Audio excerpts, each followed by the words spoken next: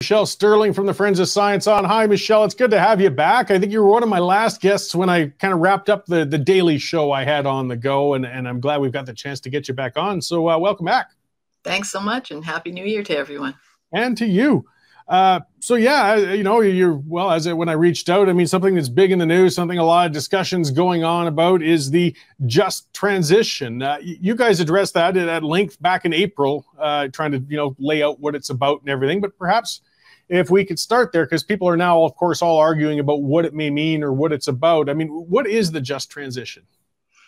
Well, it's hard to know. Like it's a bit of a uh, foggy day, if you like, when you look at the just transition, because there's a nine page report on the government website that talks about the just transition and how they want to be good to workers who are in industries that will be phased out, presumably oil, gas, and coal. Um, but what are they going to transition to? I mean, there's just no transition, if you like.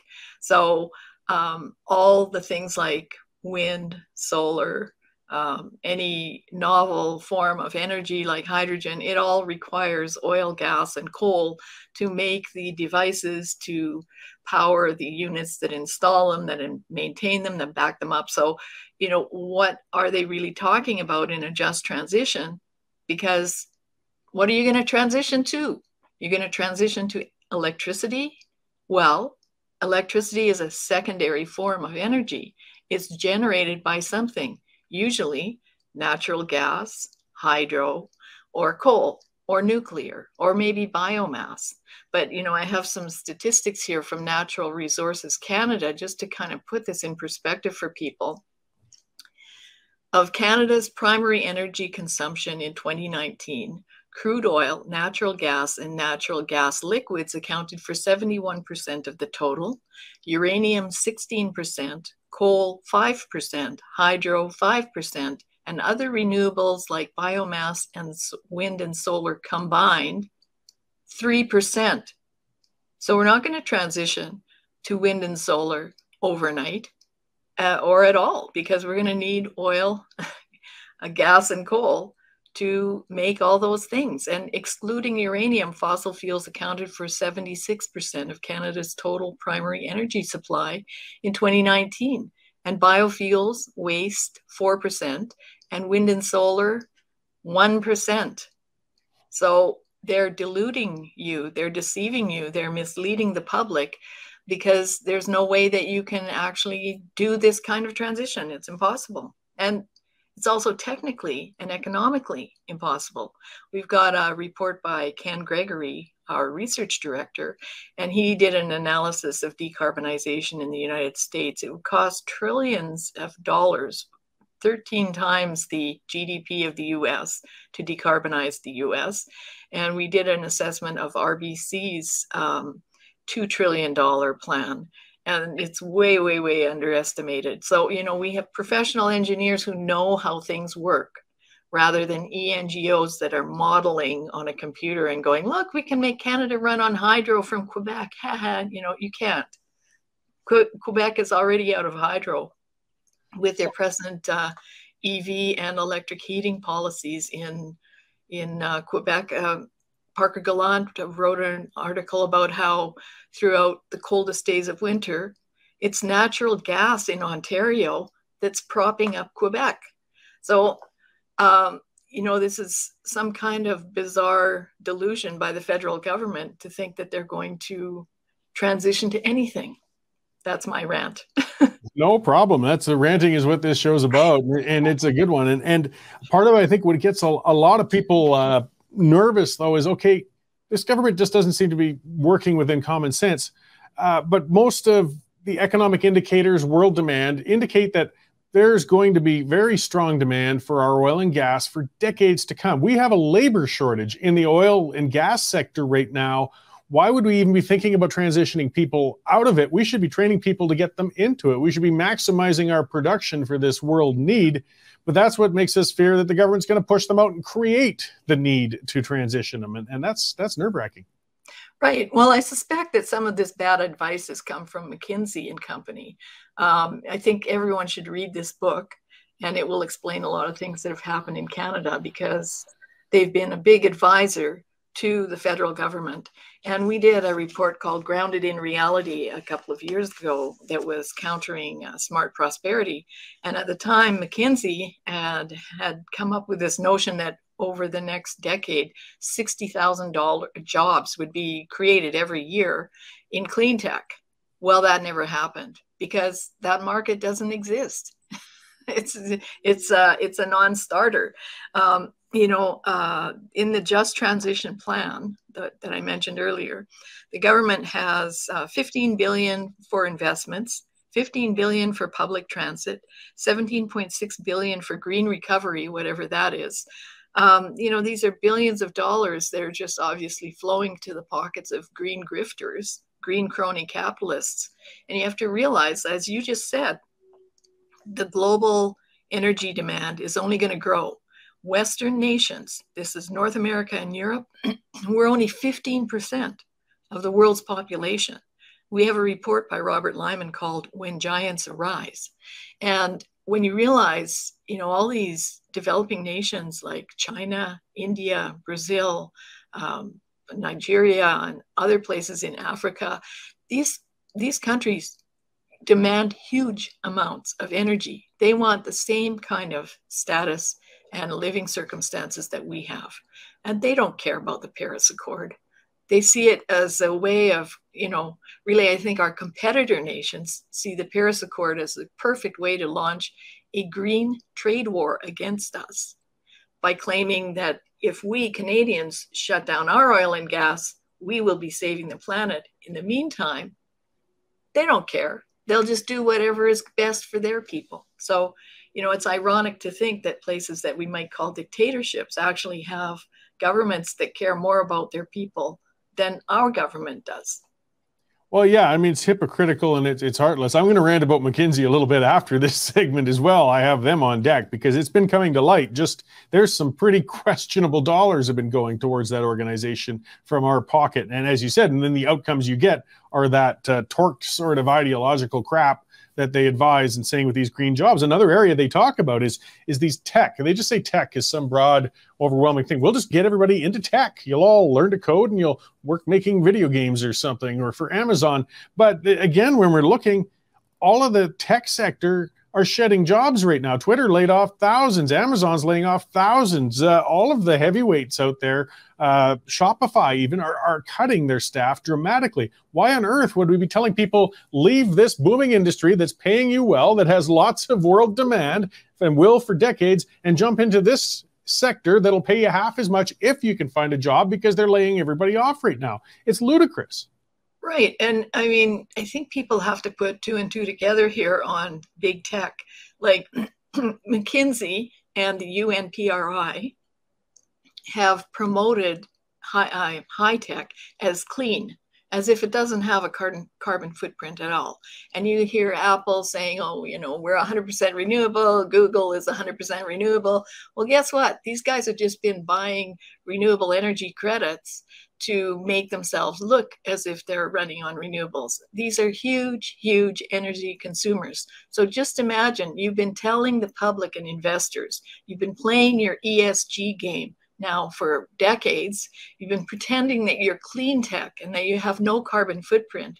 And all of a sudden, energy prices in the world skyrocket and your operation is in the dumper because you're not making money anymore. It used to look like, hey, you know, we're providing this virtual uh, material to the world so it has no carbon footprint. Well, in the back, it has a really big one, and now you have to pay double, triple, whatever for it.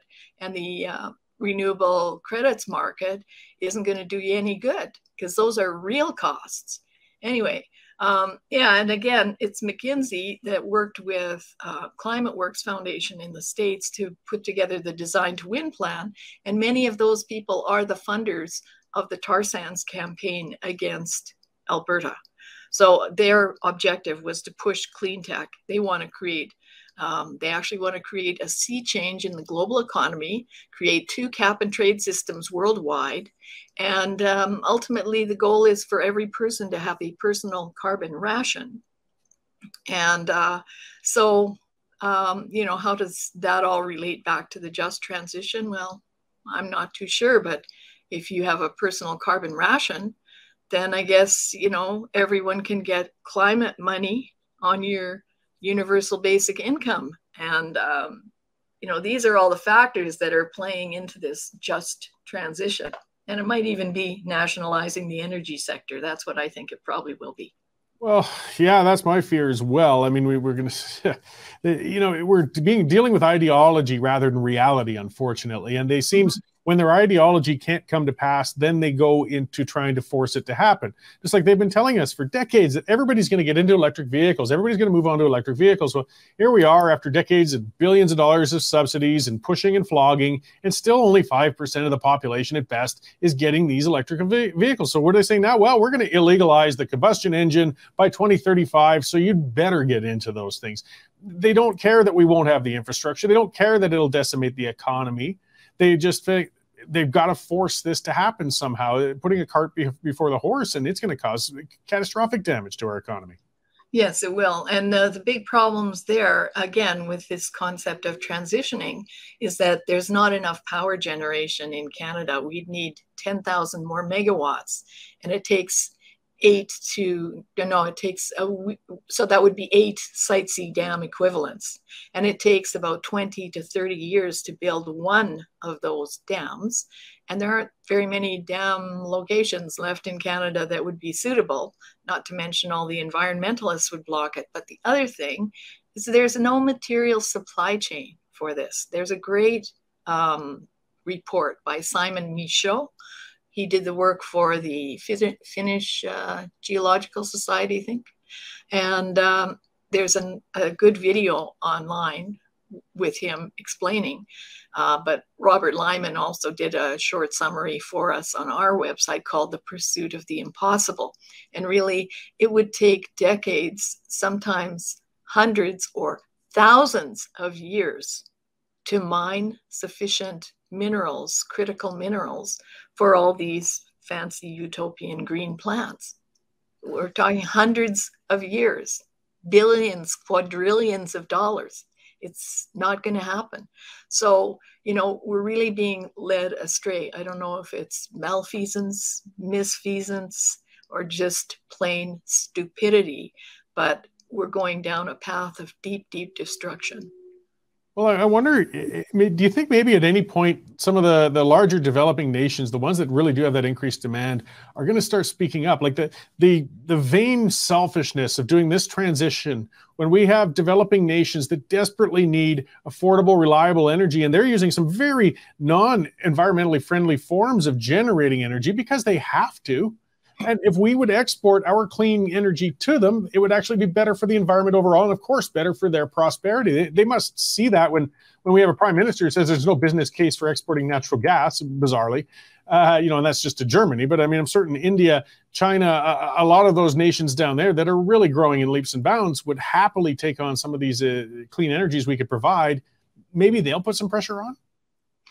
Um, I don't know because um, the you know price i think is really the objective for these countries. Like people say oh you know let's ship our natural gas to china and india and then we'll solve the air pollution problems there. Well natural gas is a very complicated um, system. Lng is very complicated compared to coal. You know coal you just dig it from the ground you can dump it on the ground you know you, you don't need a high pressurized system for it. I mean obviously there are now very good coal plants HELE plants where they're high efficiency low emissions and all coal plants pretty much use pulverized coal now so it burns very clean. Um, but in those poorer countries coal is always going to be the first option because it's very affordable it's abundant you don't need you know very high skill um, highly skilled people to manage most of it. Um, so price point will be a factor. But obviously, there are other mid range countries that would certainly buy from us if we could just get it to market. So, again, think of the green trade war people. Think of who out there does not want our product on the market and think of why. And it can also be an east west division in Canada, I'm sorry to say, but there are interests down east who are invested in other energy sectors overseas. Why would they want the West to compete with them? Oh, absolutely. And then, of course, OPEC nations, they, they do like having a strong control over energy prices. And the way they do that is by strangling supply and they strangle their own output. But if they can of course even better for them if they can slow the output in other nations it's all the all the more profit for them as, as they keep the oil prices and, and gas prices artificially high and you have to mm-hmm. look at their interest in that and that's uh, gets back to a part of a where a lot of these engos get funded but I don't know if, uh, if, there's ever any interest in pursuing or exposing that. I mean, Alberta talked about it, and we did our big report, and it just kind of fell by the wayside. Yeah, well, there needs to be more done with the findings of the Alberta inquiry um, because it's very obvious in Europe. And we have, excuse me, we have a blog post about this from uh, Drieu Godefridi, who's a Belgian philosopher and jurist. Um, and he writes about how Russia funded the environmental groups in Europe to push Germany, especially, to buy gas from Russia. And so Germany has been funding the war against Ukraine.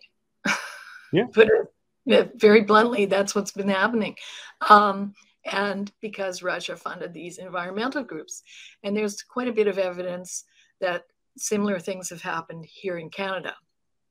So um, I don't have the specific details of that, but there are some reports out there. So again, you know, it's a green trade war against Alberta. And yeah the, sooner we take off the blinkers, you know, and stop talking about climate change, the Paris Agreement is not a legally binding document. Robert Lyman has many articles on this. And, um, you know, we shouldn't play ball because we're only 1.6% of the world's emissions in Canada, all of Canada. And even the parliamentary budget officer recently issued a report showing that there would be no change in global climate change, even if we met our targets. And even if we did nothing, there would be no damage to our economy. That's always the reason they say, oh, well, down the road, you know, climate change is going to disastrously affect the, the, the economy. This is not true. Uh, it would be better if we were spending all these billions of dollars on preparing and adapting, you know, upgrading the dike system out in the Fraser Valley, um, you know, preparing Calgary for the next potential flood because there probably will be one. Um, these are all things that we can do with this money that are real adaptive things that will help people and give people real jobs rather than all this make believe unicorn utopia. Yeah, well, in the just transition, whatever it might turn out to be, uh, I mean, Trudeau has stated that that's going to be the priority of 2023, starting off the year, and he's, he's certainly taking quite an aggressive stance with Alberta already. So I got a feeling we're going to be hearing a heck of a lot more about it as to whatever it might develop into. So I appreciate your your speaking up and helping to define that and, and keeping with it. Uh, before I let you go, so uh, where can people find more information about uh, Friends of Science and the work you guys do? Uh, well, we're on YouTube. Uh, we have a very funny little video about climate injustice for all, which is our report that we did about the just transition.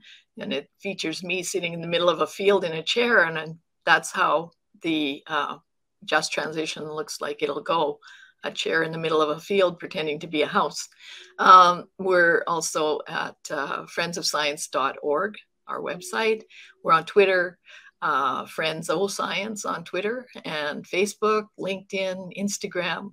So we hope that people will engage with us. And it is our 20th year of operation. We have been asking people if they would just donate $20 or if you like, maybe take out a membership. You can do that on our website. And um, we're going to have a live event this year. So that's in the works. It's probably going to be sometime in May. So I hope people will be able to attend for our buffet dinner and two speakers. Great. Well, we'll be watching for that. Well, thanks again for for coming on to join us today, Michelle. It's always good to have a talk with you and just get a nice dose of some good common sense. And I really appreciate the work that uh, you guys do out there. So uh, keep at it, and, and I'm I'm certain we'll talk again sometime soon. Okay. Thanks, Corey. Have a great trip. Great. Thank bon you. Voyage. The current Lethbridge feed grain prices are as follows: cash barley's at 437, feed wheat's at 442, and corn's holding at 440 per metric ton. In the milling wheat markets, March Minneapolis futures gained 10 and a quarter cents at 909, with local hard red spring bids for February movement at 11.55 per bushel. In the oil seeds, nearby canola futures increased $8 at 939.80 per ton, with delivered values for February movement at 18.82 per bushel. In the pulse markets, nearby red lentils remain at 33 cents a pound, and yellow peas are trading at 13.50 per bushel. In the cattle markets, February live cattle are down 52 cents at 157.22 per 100 weight.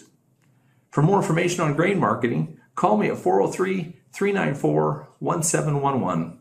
I'm Sean Smith at Marketplace Commodities, accurate real time marketing information and pricing options. Canadian Shooting Sports Association. Without the CSSA, our gun rights would have been taken long, long ago. These guys are on the front lines Uh, helping to draft smart and intelligent firearms regulations and legislation in Canada.